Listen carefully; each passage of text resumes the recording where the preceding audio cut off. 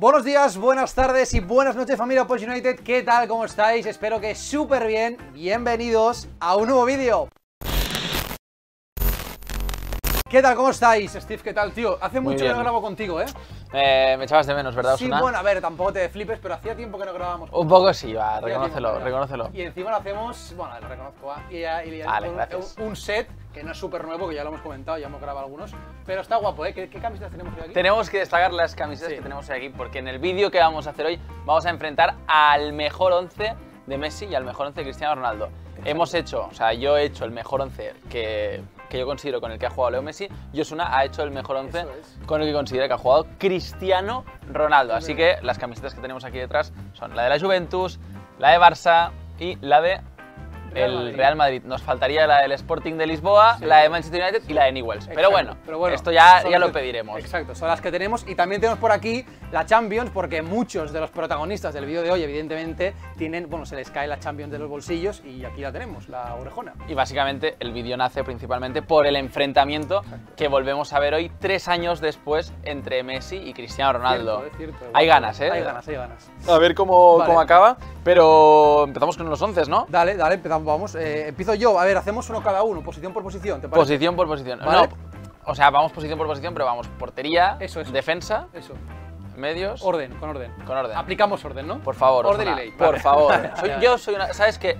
Tú que me conoces bien sabes que soy una persona que destaca por ser muy ordenada. Te caracteriza, te caracteriza. Me caracteriza. No cabe duda. Totalmente. Vale, venga, pues empezamos con orden y yo empiezo con Iker Casillas bajo palos, evidentemente. Fue eh, uno de los mejores, evidentemente, eh, bueno, junto a Cristiano Ronaldo. Eh, tiene, yo qué sé, la Champions de la 13-14, dos ligas con, con Cristiano y evidentemente, pues bueno, si ya tenemos en cuenta la época dorada de Cristiano en el Real Madrid, quien, quien metía goles era Cristiano y que los paraba era Iker Casillas. No ha tenido. O sea, siempre ha estado rodeado de buenos porteros, ¿eh, Cristiano? porque sí, sí, eh, estamos hablando de que Cristiano ha jugado alrededor de tres grandes. ¿eh? ha jugado con Casillas, Van der Sar. Eso es, me lo he dejado fuera, pero claro. Y Buffon, ah, porque con Buffon ha jugado también a Juventus. O sea, realmente una gran suerte la de Casillas. Keylor, claro, con Keylor. Que con Keylor Navas.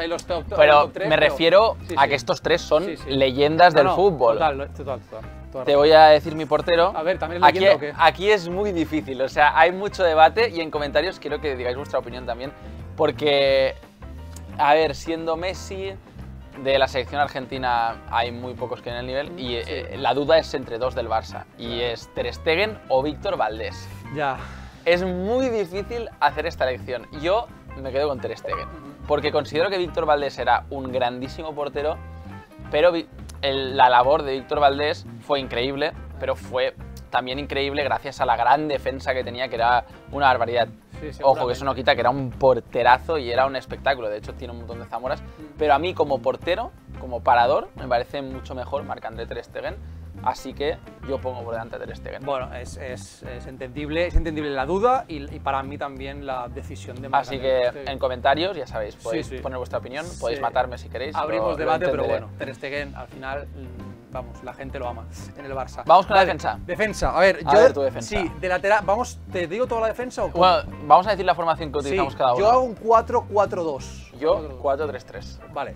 Eh, ¿Pero hacemos la defensa entera o posición por posición? Yo te diría defensa entera mejor. Dale, defensa Vamos, entera, defensa ¿eh? entera, medio entero y delantera entera. Vale, venga, vale. Pues mira, cojo aquí mi chuletilla. a, eh, ver. en el carril derecho, evidentemente aquí ha jugado, por ejemplo, con Dani Carvajal, que es el actual lateral derecho, eh, y para mí es el mejor con el que ha jugado deportivamente, pero hay otro que coincidió en el Manchester United, que ya no está jugando, que está retirado, que es Gary Neville, y lo hizo muy bien, eh, de hecho consiguió tres Premiers y una Champions, Champions brutal, importantísima para el, para el United, y tres Premiers, con lo cual me quedo con Gary Neville en el lateral derecho. En la de centrales... Ah, claro, aquí por ejemplo, si fuera por mejores amigos, pues pondría a Pepe, tío, evidentemente, porque es su, Hombre, colegui. Son los bros. Claro, son los bros portugueses, pero evidentemente pongo a Sergio Ramos, con el que ha ganado dos ligas, cuatro Champions en el Real Madrid, y Río Ferdinand, es que gran capitán. Con Pepe coincidió en Portugal, en el Sporting de Portugal, en el Madrid. Sí, sí, en todos lados. Son, son bros, son bros como tú dices. Seas bros, eh, tetes, lo que queráis. Y luego, como decía, el gran capitán del United, Rio Ferdinand, que no podía faltar, porque claro, con él también ganó, igual que con Gary Neville, tres Premiers y una Champions, con lo cual ese es mi pareja de centrales, que me parece brutal.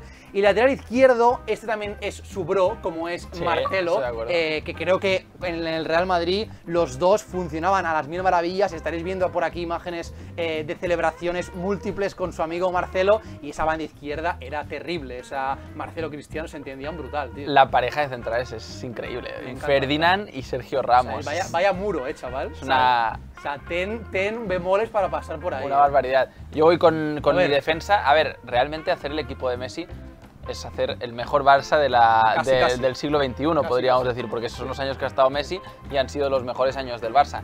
Eh, lateral derecho me tengo que quedar con Dani Alves, que ha sido de lejos el mejor lateral derecho que yo he visto, al menos en el Barça. Luego ya podríamos hablar de, de a lo largo del, de los, del tiempo, pero yo me quedo con Dani Alves. También podríamos tirar de selección argentina, donde también está Zanetti, que es leyenda, ah. pero ha coincidido muy poco y yo creo que Dani Alves es con el que más ha coincidido y es el con el que más nivel ha dado. Eh, centrales, pareja de centrales, no hay dudas. Vamos, Gerard Piqué y Carles Puyol, con los dos ha coincidido. También lo mismo, la mejor defensa del Barça. Podríamos haber puesto a Mascherano también, pero los más top, sin ninguna duda, son Piqué y Puyol por lo que han significado eh, para Messi con los títulos que han ganado juntos y además eh, por, es que son Piqué y Puyol, es que tiene, tienen que ser los centrales del Barça. Es, lo, que tú decías, hablamos del mejor Barça, con seguramente, y luego comentaremos el técnico, pero todo el mundo sabrá qué técnico es, porque claro, hmm. es el Barça de oro. He tenido dudas, tengo que confesarte, Osuna, porque había también por ahí el nombre de Chigrinsky y, me lo he planteado, me lo he llegado a plantear, pero... Y de carril izquierdo el de Junior Entre, entre Chigrinsky y Puyol estaba la cosa. Al final me he quedado con Puyol, por lo que dura sea. Decisión, ¿eh? dura me ha costado, me ha costado, pero por el liderazgo y por todo me queda Veteranía, jerarquía. me cuadra, me cuadra. Pero vamos con el lateral izquierdo para acabar la parte de la defensa y es su mejor socio dentro del campo, es Jordi Alba. Sí, sí, totalmente. O sea, como lateral izquierdo, igual ahora no está en su mejor nivel y, le, le, faltan...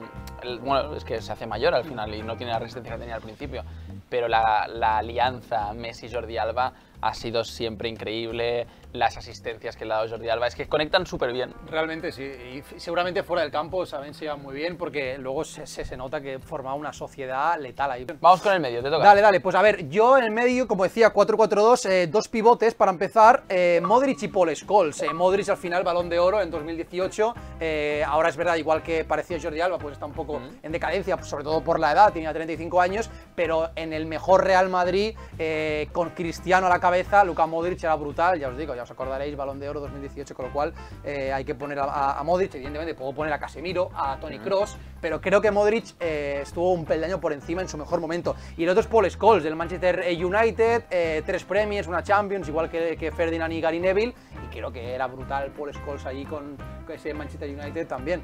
Entonces, ¿te digo los dos bandas o quieres...? no, si, quieres dime tú los tres del centro del campo. Te, digo, yo los tres del centro del campo creo que aquí no tienes nada que hacer. ¿eh? Me sabe mal, pero este centro del campo que te voy a decir yo, es que me tengo como medios, o sea, yo voy a jugar, para los que seáis de FIFA, una 4-3-3 ofensivo. 4-3-3 ofensivo con dos medios y un medio centro ofensivo.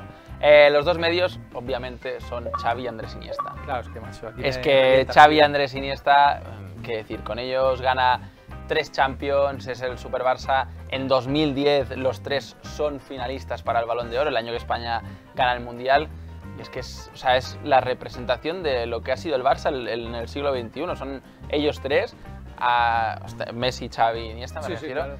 Y es que no hay jugadores con los que haya conectado tan bien que con, que con ellos dos. Y como medio centro ofensivo, que realmente es extremo izquierdo, pero he hecho aquí un poco la triquiñuela, he puesto a Ronaldinho. A Ronaldinho, ¿eh? Ronaldinho. Lo que incrustar ahí como sea, porque arriba tienes cosas que, que, tienes que poner también. ¿eh, es que arriba, eh, ya, ya, ya sabrás lo que tengo, pero Coincidieron de 2005 a 2008, poco tiempo, pero intenso, intenso, porque hemos visto todas imágenes de cómo Ronaldinho arropó a Messi, le, ayudó bastante. De hecho, el primer gol de Messi es asistencia de Ronaldinho y la mítica imagen que estáis viendo en pantalla, que todos recordaremos de Albacete, que es curioso porque recalcaron el gol, porque en ese mismo partido Messi marcó un gol de Baseina también, asistido por Ronaldinho, si no me equivoco, se lo anularon por fuera de juego y la siguiente jugada, otra vez lo mismo otra vez Messi marcó de vaselina, asistido por Ronaldinho. Vale, pues... Adelante, tu delantera. pues como yo te he dicho 4-4-2, eh, me quedan los dos extremos, digamos, y los dos puntas, ¿vale? Hmm. Eh, el, extremo izquierdo, obviamente, es el propio Cristiano. Eh, aquí tengo apuntado la mejor temporada de Cristiano en su carrera deportiva fue la temporada 15-16, donde ganó la Eurocopa con Portugal por un lado y la Champions con el Real Madrid y hizo la, la cantidad de 51 goles en, una temporada sin contar con Portugal, es solo eh, con el Real Madrid en, en, Champions, Copa del Rey seguramente y ligas. evidentemente, eh, cuatro Champions con el Madrid, bueno, una locura, Cristiano, evidentemente, es el protagonista del, vídeo, en, mi caso. Y por la banda derecha, tío, Luis Figo, ¿eh?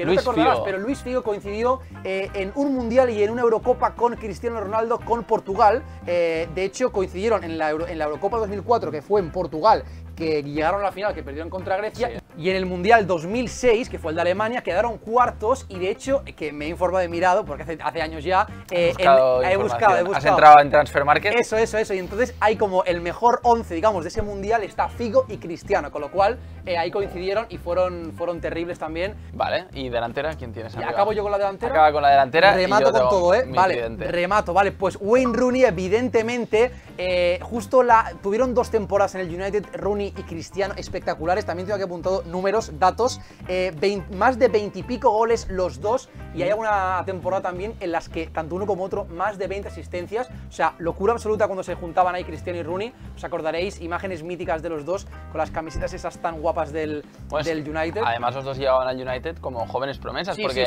llegaba Cristiano con 18 años y la temporada siguiente creo que era, Rooney llegaba también con 18 años. Sí, súper joven. con el Everton. Sí, sí, hiper joven los dos. Eh, evidentemente, una Champions también ahí, bueno, igual que los, los del United, tres Premiers, y creo que tenía que estar sí o sí. De hecho, la temporada 9-10, que ya no está Cristiano, Rooney mete 34 goles, en fin, eh, de locos. Y el otro es Karim Benzema, creo que de todos los delanteros con los que ha jugado Cristiano es con el que mejor ha conectado, con el que mejor ha jugado, con el que mejores números ha hecho de hecho, eh, no hace mucho hubo también una entrevista, igual que la hizo Valdano con Griezmann, la hizo con Benzema, y él decía que cuando estaba Cristiano, él estaba un poco en la sombra de Cristiano porque jugaba por y para él, igual que decías bueno, Xavi, Iniesta, ¿Cuántas asistencias le ha dado Benzema? Muchísimas, claro, igual que decías Iniesta y Xavi jugaban para Messi, Benzema jugaba para Cristiano y muchas veces no se veía lo que hacía Benzema y, es que eh, le daba, como tú dices, muchas asistencias. Y creo que Benzema, bueno, pues tiene que estar ahí, eh, Champions, Ligas, de todo ha ganado con Cristiano, así que ahí te, ahí te la dejo votando. Uf, ahí voy con mi delantera. A ver. Yo creo que no hay duda, bueno, solo puede haber una duda,